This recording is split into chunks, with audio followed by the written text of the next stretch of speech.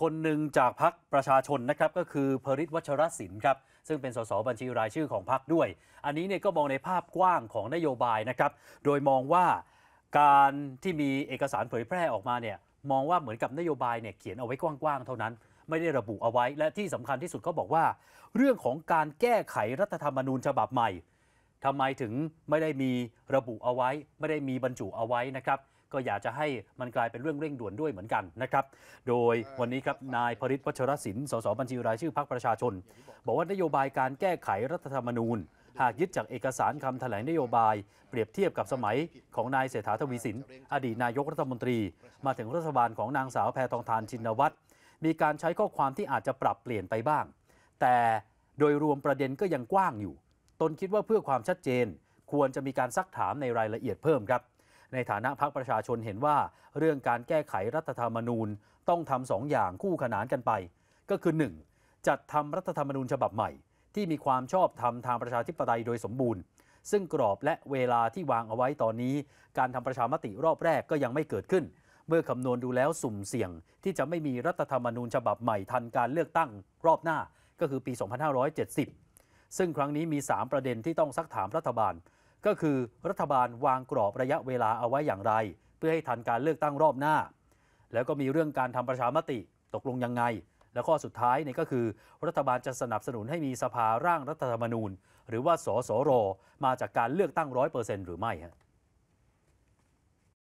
ดังนั้นเนี่ยผมคิดว่า 3 ประเด็นในส่วนนี้ที่ต้องมีการซักถามรัฐบาล ประเด็นทีหนึ่1 ก็คือว่ารัฐบาลวางรถแมพหรือว่ากรอบเวลาอย่างไร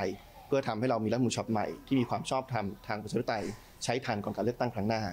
ประเด็นที่ 2 ก็คือว่าหากจะเดินหน้าประชามติรอบแรกนะครับซึ่งเป็นการถามประชาชน ว่าควรจะมีการจัดทำรัฐมนูญฉบับใหม่หรือไม่เนี่ยจะยังคงยืนยันคำถามประชามติที่ทางคณะกรรมการศึกษาที่คุณภูมิธรรมเป็นประธานในรัฐบาลชุดที่แล้วเนี่ยเสนอมาหรือไม่ ส่วนประเด็นที่3นะครับที่คงต้องถามในส่วนนี้ก็คือว่ารัฐบาลเนี่ยจะ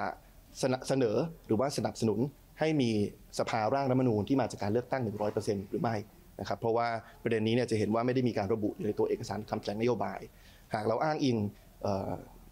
การเสนอที่ผ่านมาของพรรคเพื่อไทย เราก็เห็นว่าพรรคเพื่อไทยเคยมีการเสนอร่างแก้ไขรัฐธรรมนูญนะครับเกี่ยวกับเรื่องสสรที่ยืนยันหลักการว่าสสรมาจากการเลือกตั้ง 100%แต่เรายังไม่เคยได้รับคำยืนยันนี้จากนายกรัฐมนตรี หรือว่ารัฐบาลในนามคอรมอเลย อันนี้คือยกร่างแก้ทั้งฉบับนะครับขณะเดียวกัน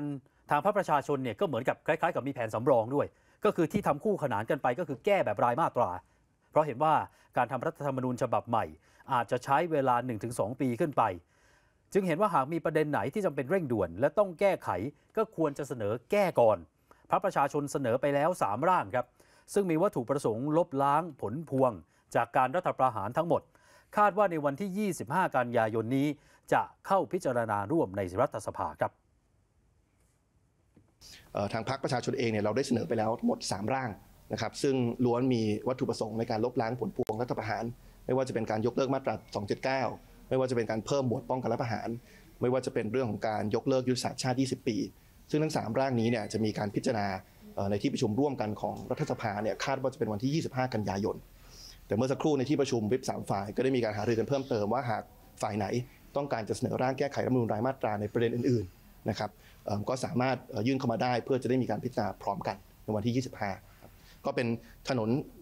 สองสายที่ต้องเดินคู่ขนานกัน ในส่วนของการแก้ไขปัญหาเรื่องรัฐธรรมนูญครับ อีกประเด็นนะฮะก็คือเรื่องของการทบทวนอำนาจหน้าที่ของสารรัฐธรรมนูญ และองค์กรอิสระ มีการขยายให้กว้างขึ้น ทั้งอำนาจในการยุบพักรวมถึงอำนาจในการพิจารณาจริยธรรม ที่ผ่านมามีการพูดคุยแลกเปลี่ยนความเห็นกันทุกฝ่าย แต่ฝ่ายไหนจะเสนอแลกเปลี่ยนแก้ไขอย่างไรก็ต้องรอดูอีกทีครับ หลาย ๆ คนพูดถึงเรื่องเหล่านี้เยอะ แล้วก็จริง ๆ ก็มีอีกประเด็นหนึ่งนะฮะที่เป็นประเด็นร้อนก็คือเรื่องของจริยธรรมอืมร้ายแรงเนี่ยที่ว่าเอ๊ะควรจะตีกรอบอะไรให้มันชัดเจนไหม ไม่ใช่ว่าให้มันกว้างแล้วปล่อยให้ตุลาการสารรัฐธรรมนูญเนี่ยไปตีความอืมนะครับอันนี้เพื่อไทยก็บอกอยากแก้ด้วยเหมือนกันอืม